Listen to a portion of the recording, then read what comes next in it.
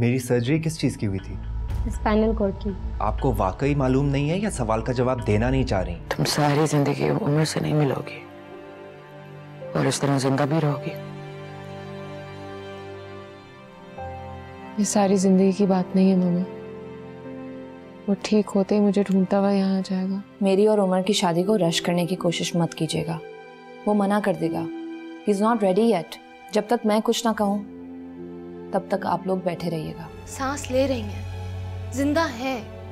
वरना phone disconnect नहीं करती। क्या कहना चाह रही हैं वो वाकई बदल गई है। सच में मुझे हॉस्पिटल में फेंकर भाग गई वो? आप गलत समझ रहे हैं। हम तो सिर्फ़ ये कहना चाहते हैं कि कॉल डिस्कनेक्ट करने का मतलब ये है कि वो ज़िंदा हैं।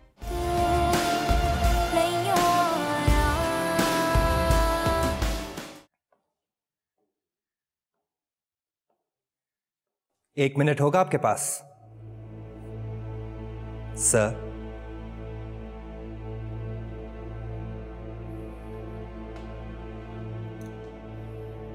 आपको क्या लगता है? इस तरह मैं वो सब कुछ करने पर तैयार हो जाऊँगा जो आप चाहते हैं? देखो बेटा, मैंने आज तक तुम्हारी खैरियत और खुशी के अलावा और कुछ नहीं चाहा आपकी ऐसी बातों पर सिवाय हैरान होने के मैं कुछ नहीं कर सकता। तुम्हारे जाने के बाद बेटा बहुत सी हकीकतों का मुझको अंदाज़ा हुआ। उनमें से एक हकीकत यह है कि दुनिया की हर शय से ज़्यादा तुम मुझे अज़ीज़ हो। तुम्हारे लिए तुम्हारी खुशी की खातिर मैं किसी भी हद तक जा सकता हूँ। सबसे पहले तो मैं आपकी एक गलत फहमी दूर करना चाहता हूँ जो शायद आपको हमेशा से है। मैं शय नहीं हूँ। शायद चीज़ों को कहते हैं ना शायद? जो सांस लेती हैं ना सोच सकती हैं। दूसरी बात मैं मोहिनी के लिए किस हद तक जा सकता हूँ इसका आपको भी अंदाज़ा नहीं है। मुझे इसका अंदाज़ा है। मेरी शादी हो गई है। इसका भी अंदाज़ा हो चुका है ना आपको? इसलिए अगर आप मेरे बारे में कोई भी प्लानिंग कर रहे हैं जरा सोच समझ के कीजिएगा। तुम जो कह रहे हो शायद ठीक ही कह रहे होगे। लेकिन मेरे एक सवाल का जवाब दे दो। तुमने जो कुछ अपनी ज़िंदगी के साथ किया, वो किसकी प्लानिंग थी? मेरी तो नहीं थी। जो तुमने मुसीबतें छीनी, वो किसकी प्लानिंग थी? वो भी मेरी प्लानिंग नहीं थी। और जब तुम एक सस्ते से अस्पताल में लावारिसों की तरह पड़े थे, तुम्हारा इलाज करवाना किसकी प्लानिंग थी? वो मेरी प्लानिंग थी। तुम्हें मफलूज होने से बचाना किसकी प्लानिंग थी? वो मेरी प्लानिंग थी। तुम्हें दोबारा ज़िंदा रहने का चांस देना, वो भी मेरी प्लानिंग थी बेटा। मेरी ज़िंदगी में आज तक जो कुछ बुरा हुआ है, और आगे भी जो कुछ बुरा होगा, वो सिर्फ़ आपकी प्लानिंग की वजह से होगा। इसलिए मैं आपकी किसी प्लानिंग पर कोई अमल नहीं करने वाला। मैं इस घर में ज़्यादा दिन नहीं रुकूँगा।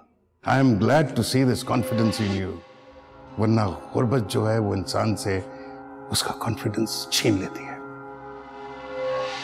तुम्हारे आने जाने पर कोई पाबंदी नहीं है। यहाँ रहना चाहते हो यू मोर देन वेलकम यहाँ नहीं रहना चाहते तो तुम्हें जाने से कोई नहीं रोकेगा बेटा।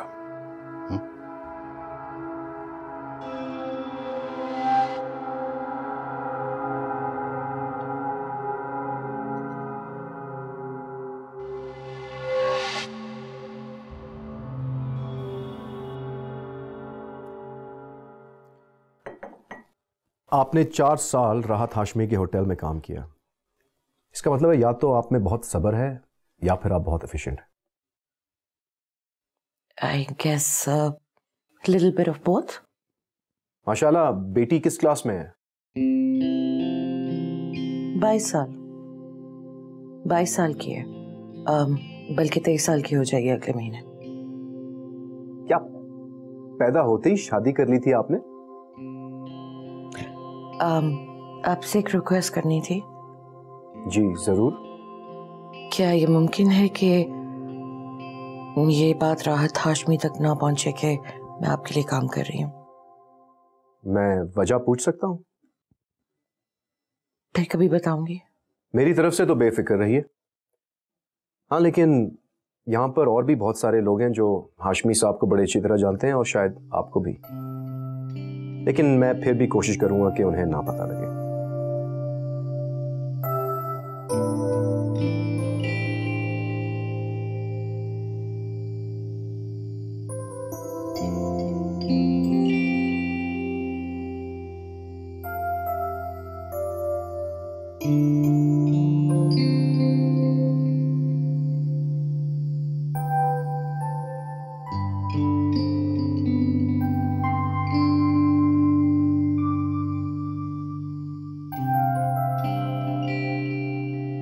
किसे फ़ोन कर रही हो? नोमी को कर रही हूँ। मेरा फ़ोन नहीं उठा रहा। एसएमएस का जवाब भी नहीं दे रहा और ना ही ईमेल्स का। उसके साथ हमने ज्यादती भी तो बात की है। बेचारे ने कितना साथ दिया था हमारा। और हम इस तरह उसे बगैर बताए आ गए तो क्या हमसे बात करना बंद कर देगा वो? आई एम श्योर नाराज़ होगा। वो भी मुझसे नाराज़ होगा।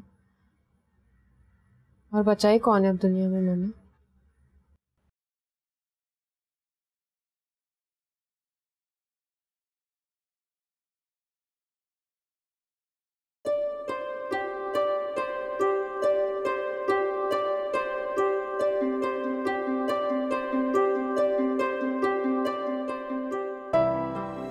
शुक्र है। मेरा फ़ोन क्यों नहीं उठा रहे थे तुम?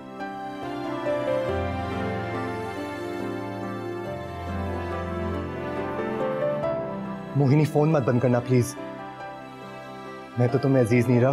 तुम्हें जो भी अज़ीज़ हो, तुम्हें उसी कसम है। Please talk to me Mohini, मैं मर जाऊँगा तुम्हारे बगैर। उन्होंने मुझे तुम्हारे बारे में जो कुछ भी बताया, मैं जानता हूँ वो सब कुछ गलत है। मोहिनी, मैं जानता हूँ उन्होंने तुम्हें फोर्स किया होगा, डराया होगा, धमकी दी होगी, वरना तुम कभी मुझे इस हालत में छोड़ के ना जाती। Mohini Mohini listen to me तुम जहाँ पर भी हो, तुम वहीं रुको, मैं सब कुछ छोड़ के वहाँ आ जाऊँगा। जिस तरह पहले आया था हाँ?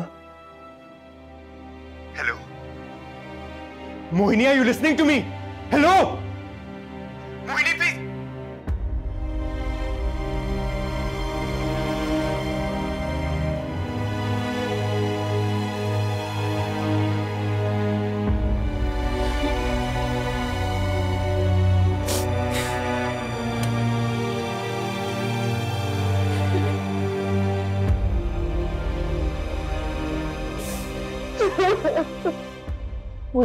क्या है माँ है ये। तुम क्यों कर रही हो उसके साथ ऐसे तुम्हारा शौहर है। इस तरह अचानक कैसे उसे रिश्ता तोड़ सकती हो तुम?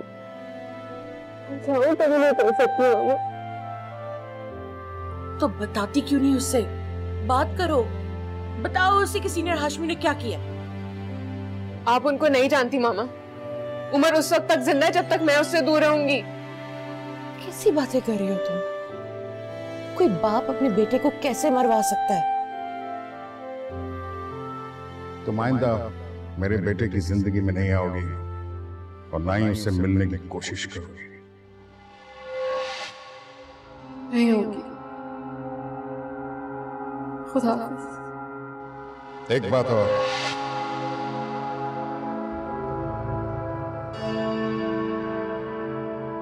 मेरा एक ही बेटा है। उसको खो देना या मार देना मेरे लिए मायने रखता। अगर इस बार वो मुझको छोड़कर गया तो शायद मैं भी ज़िंदा ना रहूँ। लेकिन आज तुम्हारे सामने मैं कसम खाता हूँ, वो सौ बार ज़िंदा हो। सौ बार तुमसे मोहब्बत करे, मैं सौ बार उसको मार दूँगा। हद हो गई। इस दुनिया में सिर्फ़ एक माँ बाप की मोहब्बत ही सच्ची थी।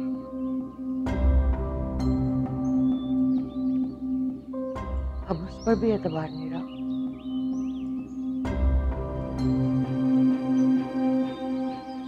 मैं तुम्हें क्या कह सकती हूँ? सिर्फ़ अल्लाह से ये दुआ कर सकती हूँ कि तुम्हें हिम्मत और सब्र दे।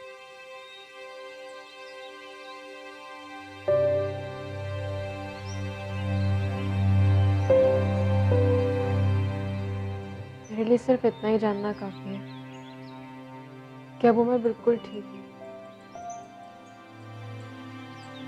राहत आशमी के किसी झूठ पर यकीन नहीं है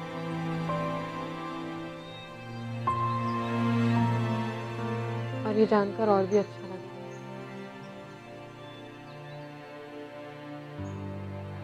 कि मैं उसे याद आती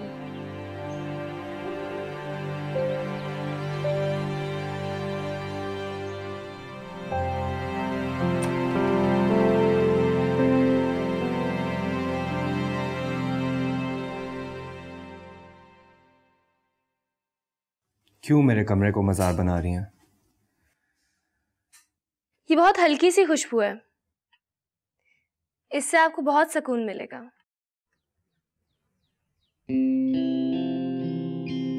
आपकी मोहिनी से बात हुई थी? आपको कैसे पता चला? इतने अरसे में आज पहली दफ़ा आपके चेहरे पर थोड़ा सा इत्मीनान दिखा है। She didn't talk to me लेकिन उसने मेरी बात सुन ली। और मुझे यह भी पता है कि वो ठीक है। ये पता नहीं चला कि वो कहाँ है? वो भी पता चल जाएगा। Can I suggest something about senior Hashmi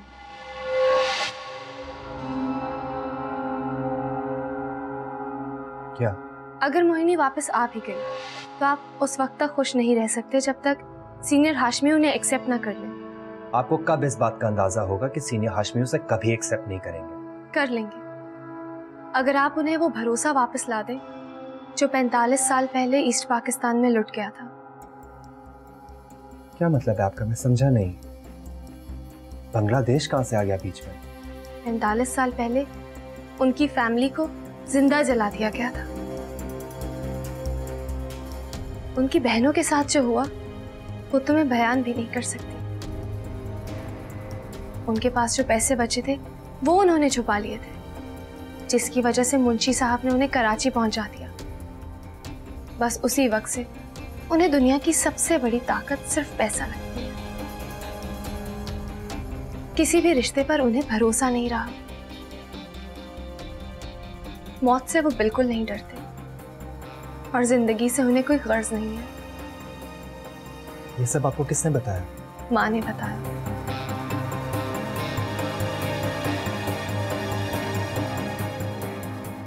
आप उनसे लड़ना बंद कर दीजिए। हालात बेहतर होना शुरू हो जाएँगे। उनके बारे में ये सब मैं पहली मरतबा सुन रहा हूँ। लेकिन उससे कोई फ़र्क नहीं पड़ता। इस उम्र में इंसान बदला नहीं करते। सिर्फ़ उनकी तरह रिजिड और बेहिस हो जाते हैं। मोहिनी के लिए।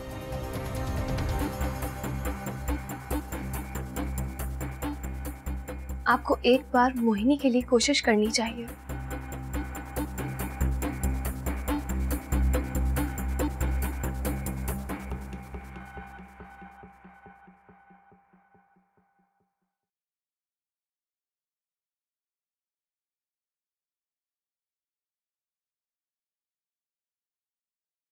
अगर आपने कुछ कहना ही नहीं था तो बुलाया क्यों था? मैंने तुमको जाने के लिए भी नहीं कहा। क्या हो गया आपको? क्यों? कुछ नया सा लग रहा है?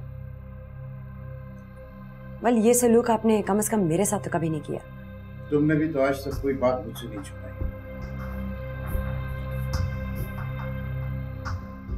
क्या छुपाने की कोशिश कर रही हो और क्यों छुपा रही हो? क्या छुपाऊँगी राहत? मुझे सवाल के जवाब में सवाल अच्छा नहीं लगता। और मुझे शक्को शबात वाले लहजे बिल्कुल पसंद नहीं। लहजा तो तुम्हारा भी बदल गया है। कौन सा कारनामा अंजाम दिया है तुमने? या कोई ताकत अचानक तुम्हारे हाथ लग गई है? अचानक कितने इनसिक्योर क्यों हो गए? ऐसी कौन सी गलती कर ली जिससे एतमाद उठ गया? गलती मैंने नहीं गलती तुमने की है। इस लहजे में मुझसे बात करके। मैं मोहिनी नहीं हूँ राहत। कोई गलती मत कीजिएगा।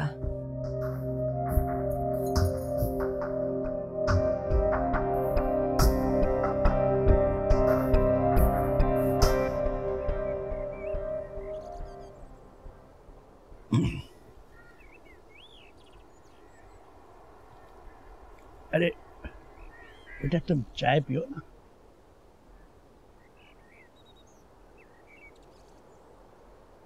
ना ना। आपने इतने सारे साल अकेले कैसे गुजारे? सच पूछो तो काम ने मुझे कभी अकेला छोड़ा ही नहीं। मुझे भी ऐसा कोई काम बता दीजिए। काम तो यहाँ बहुत सारे हैं। लेकिन जो सबसे इंटरेस्टिंग काम मुझे लगता है वो बच्चों को पढ़ाना लगता है। यकीन मानो इस घर में मैंने सत्रह बच्चे ऐसे पढ़ाए हैं जो आज कराची और लाहौर में बहुत अच्छे जॉब्स कर रहे हैं। शफू नाना मुझे घर से बाहर निकल कर काम करना है। हेल्थ अवेयरनेस पर बहुत काम है। यहाँ पहाड़ियों पर छोटी छोटी बस्तियाँ हैं। वहाँ औरतों को हेल्थ के बारे में बताना है। काम। ये तो बहुत मज़े का काम है। हम्म। हेलो अच्छा। कब? ठहरो मैं आता हूँ। क्या हो शफू नाना? वो मेरे एक दोस्त हैं वो बता रहे हैं कि वहाँ किसी लेबोरेटरी में आग लग गई है। मैं अभी आता हूँ।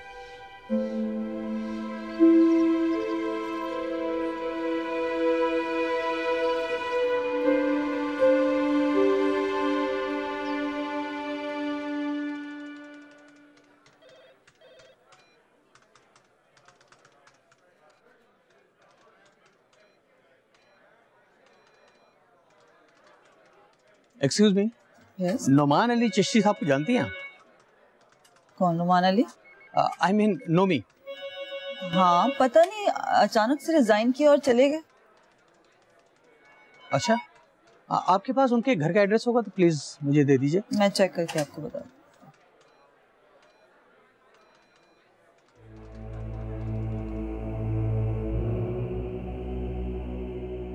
हद हो गई।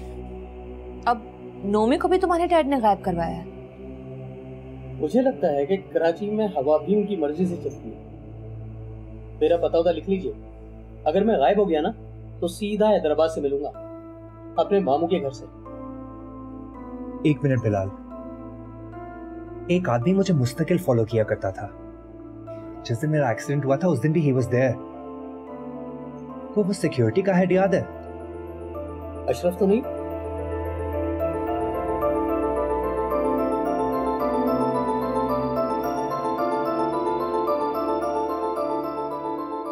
पहाड़ी बस्तियों में पैदल चलना आसान नहीं होता।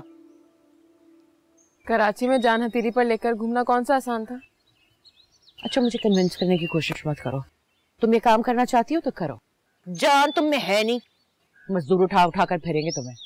पर अब इतने भी बुरे हालात नहीं है। चलूँगी फिरूँगी तो भूख भी लगने लगेगी और वापस खाना खाना भी शुरू कर दूँगी। खैर तुम सुनाओ असमा होटल में कोई चांस दिखाई दिया? किस चीज़ का? ये ज़िंदगी में तुम्हारे हाथ सीधे कर दूँ? है एक होटल में जुबैरी साहब। तो बुलाओ ना चाय पर उनको नेक काम में देनी करनी चाहिए। मैं मज़ाक कर रही हूँ। लेबोरेटरी जाना है तुम्हारा टेस्ट लेने। कोई फ़ायदा नहीं रिपोर्ट तो अब मिलनी नहीं है। लेबोरेटरी में आग लग गई।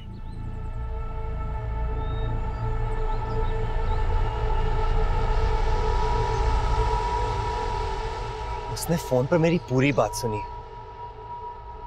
फिर भी कुछ नहीं बोली। उसने ऐसा क्यों किया? शायद वो शर्मिंदा होगी।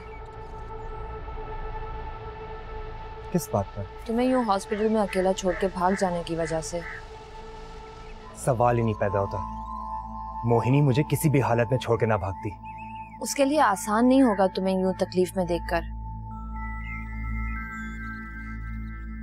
अदनान भी तो भाग जाता था। वो किससे भागा था? वो ड्रग्स लेकर भाग जाता था। उसे अपने अब्बा की करप्शन की स्टोरीज बर्दाश्त नहीं थी। अपने नाम के साथ अपने अब्बा का जुड़ा हुआ नाम उसको बिल्कुल बर्दाश्त नहीं था। शायद इस वजह से वो कभी लंदन नहीं गया। हमेशा इधर ही अकेला रहा वो। उसने मुझे ये सब कभी भी नहीं बताया।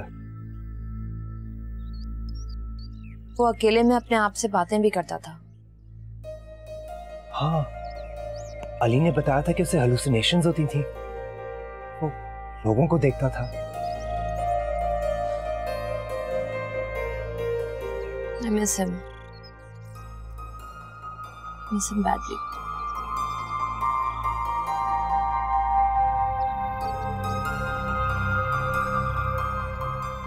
I can understand.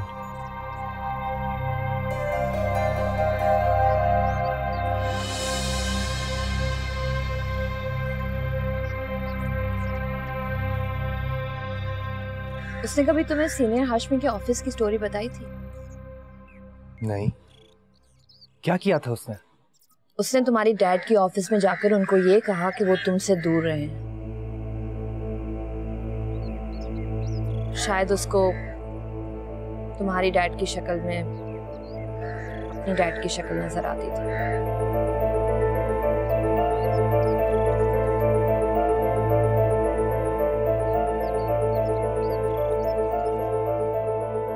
आप मोहिनी की वजह से अपने सगे रिश्तों की ज़िंदगी हराम करके उसे गुनेगार मत कीजिए। कितनी तनख्वाह देते हैं सीनियर हाशमी आपको ये वफादारी निभाने की?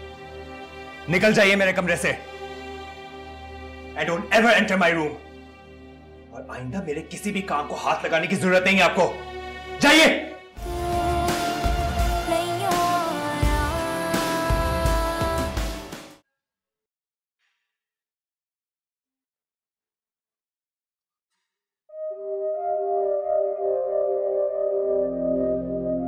साजिद तुम इतनी जल्दी क्यों वापस आ गए हो?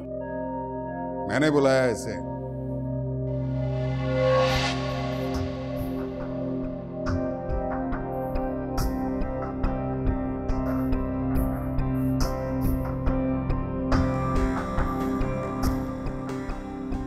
कहाँ गए थे तुम? साहब मुझे जाना पड़ा।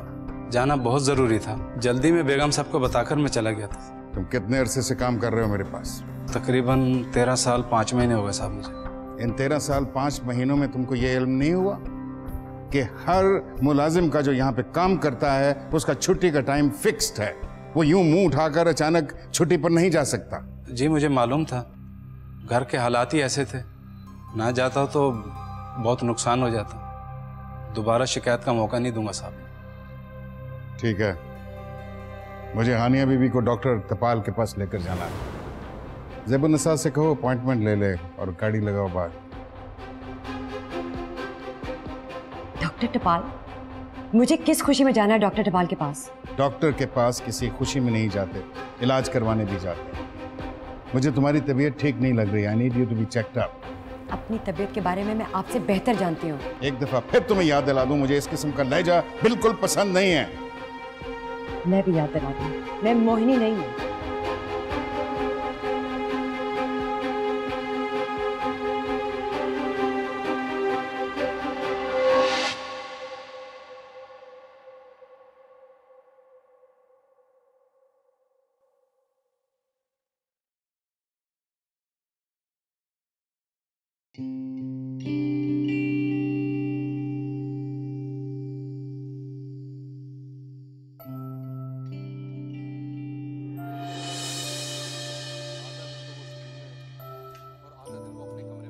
Here you go. वैसे तुम्हें एक बात बताऊँ? मुझे लाइफ में कुछ ज़्यादा इंटरेस्ट नहीं था। लेकिन जब से तुमने मुझे सुट्टो में कंपनी देना शुरू की है तब से काफ़ी इंटरेस्टिंग हो गई लाइफ अच्छा। और मैं समझी थी कि तुम्हें मेरी बातें पसंद है। अरे यार देखो बातें करनी होती तो मैं रेडियो ना सुन लेता। वैसे तुम सैंडविचेस इसी तरह बनाती हो? किस तरह? जैसे बनाए हैं। अच्छे है ना? बस अब इनको खाने के लिए एक डायनासोर जितना मुँह चाहिए।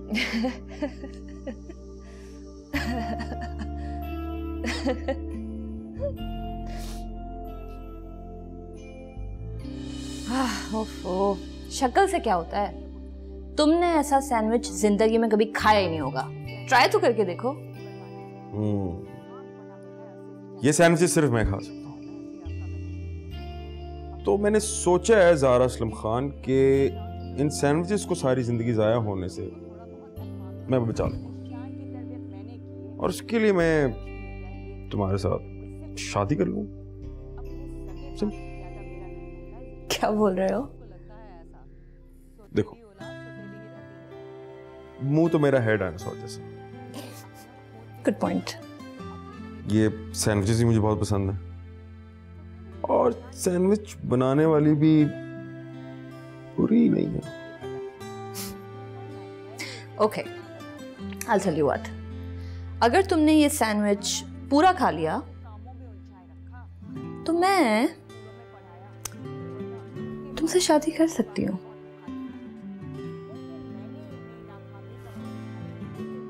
पक्की बात है?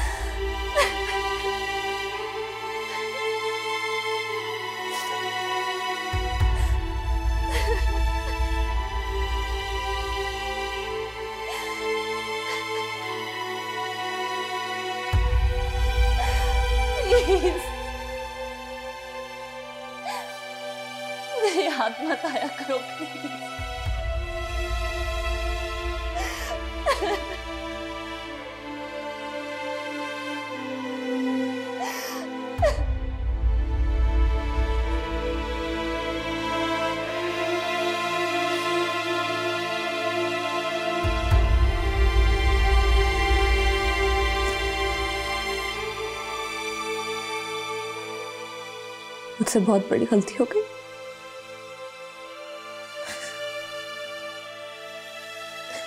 मुझे अब समझ में आया कि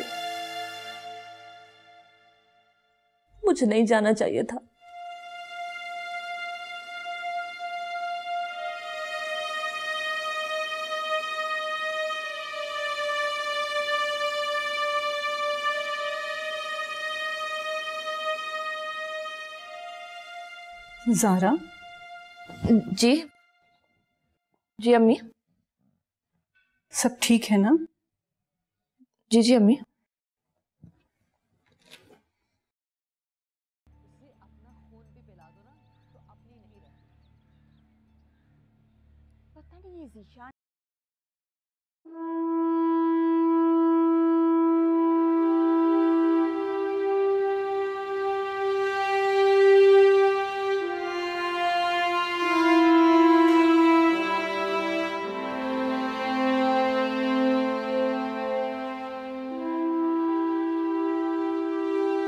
सलीम जल्द से जल्द जारा की शादी करवाइए।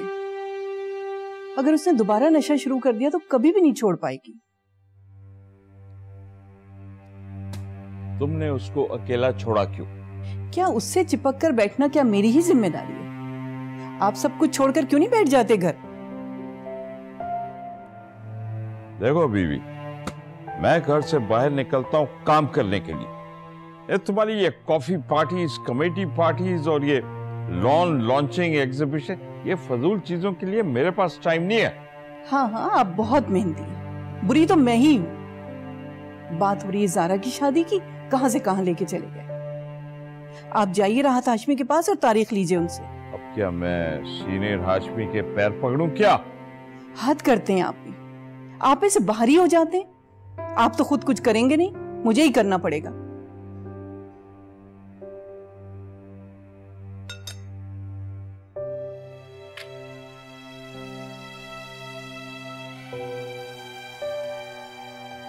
आप मान क्यों नहीं लेते हैं सीनियर हाशमी की बात? क्योंकि वो झूठ बोल रहे हैं। अगर वो झूठ बोल रहे होते तो सच का कहीं ना कहीं तो पता चल ही जाता। सच पता नहीं चल रहा इसलिए उनका झूठ मान लूँ। चलिए यूँ ही सही। और अगर सच पता चल भी गया तो क्या फ़ायदा होगा? आप दोबारा घर छोड़कर चले जाएँगे। या सीनियर हाशमी मोहिनी को अपनी ज़िंदगी में कबूल कर लेंगे? क्या आप वाकई अपनी ज़िंदगी ज़ीरो के नुक्ते से शुरू करना चाहते हैं? मेरी ज़िंदगी उसी दिन शुरू होगी जिस दिन मोहिनी मुझे मिलेगी।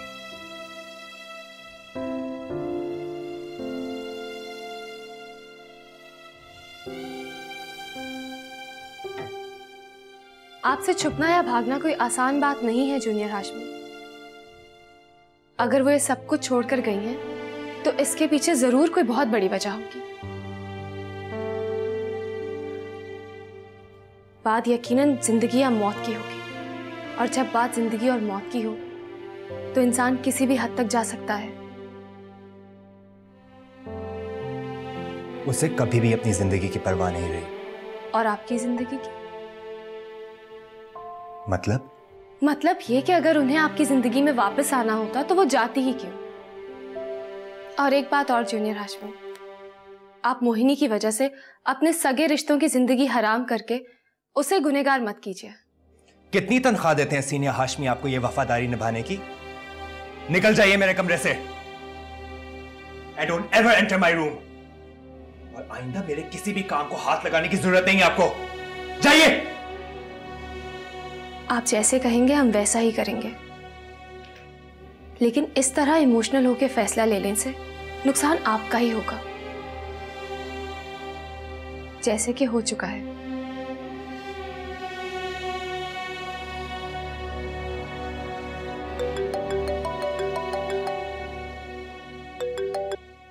हेलो हेलो उमर हाशमी बोल रहे हो? जी कौन? बेटा मैं जारा की अम्मी बोल रही हूँ। कैसे हो? जी मैं ठीक हूँ। आई एम सॉरी बेटा। तुमको डिस्टर्ब कर रही हूँ? क्या तुम्हारी जारा से लड़ाई बड़ाई हुई है? नहीं तो आंटी क्यों? बेटा उसका अब कोई दोस्त तो रहा नहीं है। तुम ही हो जिससे वो हर किस्म की बात कर लेती है। अगर हो सके तो उससे आके मिल लो एक दफ़ा। इज़ शी ऑल राइट बेटा सही होती तो तुम्हें फ़ोन क्यों करती? तुम्हें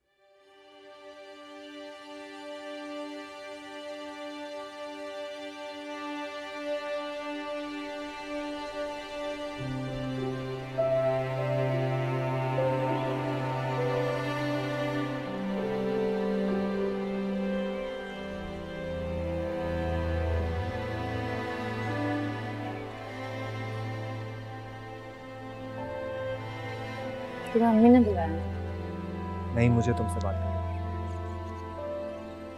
बोलो। पहले ये तो बताओ तुम्हें हुआ क्या है? यार अदनान याद आ रहा है पागलों की तरह से। मुझे यकीन नहीं आ रहा कि वो अब नहीं है। किसी भी हाल में मुझे अकेला ना छोड़ने वाला शख्स हमेशा के लिए मुझे छोड़कर चला गया है। मुझे यकीन ही नहीं आता।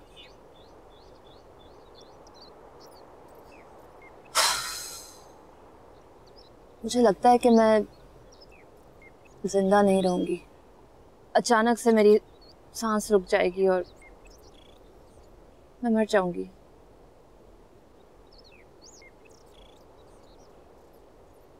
ऐसा लगता नहीं है, सारा।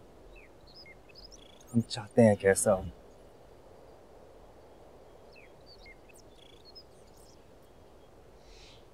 तुम्हारी तरह मुझे भी बिल्कुल यकीन नहीं आ रहा।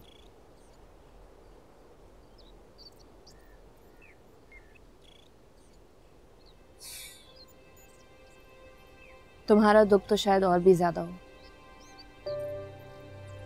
अदनान तो ज़िंदा नहीं है, लेकिन मोहिनी ऐसा क्यों कर रही है? मुझे समझ में नहीं आता कि इशू जो भी था उससे अस्पताल में मेरी हालत नहीं देखी जा रही थी। अंडरटेकर उसे थ्रेटन कर रहा था, धमकियाँ दे रहा था उसे, अब उसके पास इलाज के पैसे नहीं थे। वो मुझे बता तो सकती थी। उसे मुझ पर जरा सा भी भरोसा नहीं था। उस बॉन्ड पर भरोसा नहीं था जो हमारे दरमियान था।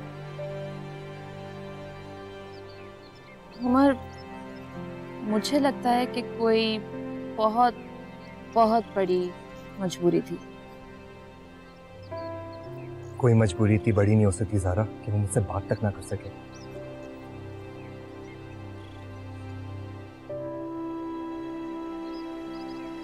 Unless अनलेस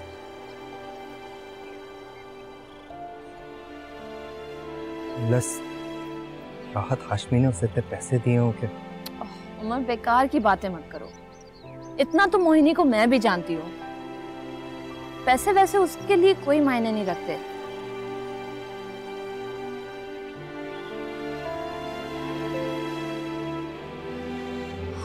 अच्छा चलो कोई मूवी देखें। ये कोई हालात है मूवी देखने वाले? पागल हो गई हो क्या? इन्हीं हालात में तो ज़रूरी होता है। कौन कौन सी लगी हुई हैं? पता नहीं। अच्छा हॉलीवुड या बॉलीवुड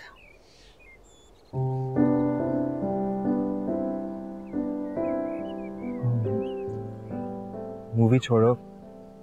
तुम एक स्पेशल जगह लेकर जाता हूँ। ओके लेकिन पहले अपना हुलिया ठीक कर दो। थैंक्स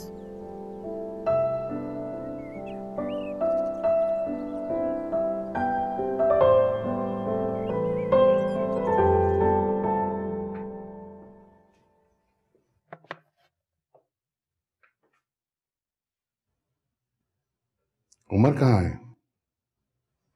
कहीं बाहर गए। बताकर नहीं गए। हम्म। वैसे तुम्हें पता होना चाहिए।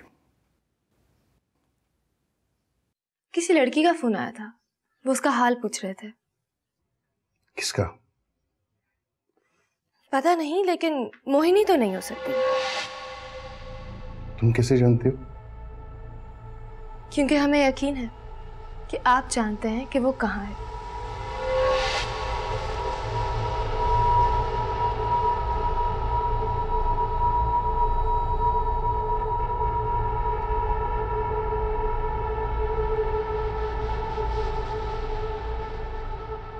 तुमने उस दिन बताया नहीं।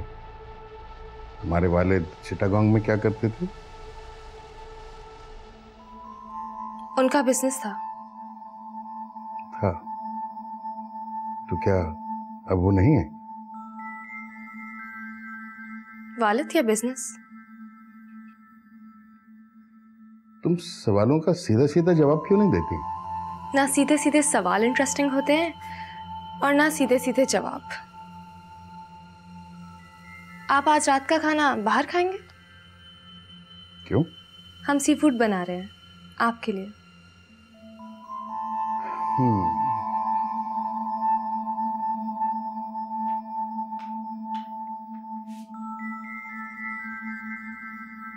मिसेस हाशमी सुबह से घर पर नहीं है। उन्होंने लंच भी बाहर किया था। आप उनसे कह दीजिएगा कि रात का खाना घर पर ही खाएँ।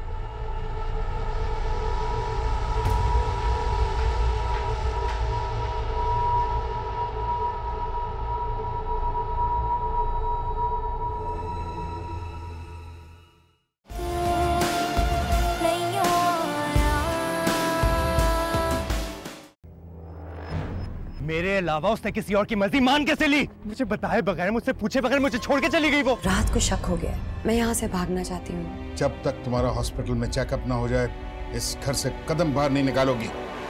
खुशियाँ ऐसे ही खुद बखुद नहीं मिल जाया करती। उसको हासिल करने की थोड़ी मेहनत करना पड़ती है। मैं शादी इस वजह से कर रही हूँ क्योंकि मुझे आपके ये ताने बर्दाश्त नहीं है। वरना कब की अदनान के साथ मर चुकी होती मैं। अपनी क्लास के लोगों के साथ उठो बैठोगे तो ठीक हो जाओगे। बहुत दावे करती थी ना वो। मेरे नाम के साथ जिएगी, मेरे नाम के साथ मरेगी। मेरे नाम के साथ जी तो नहीं सकी लेकिन मरेगी ज़रूर।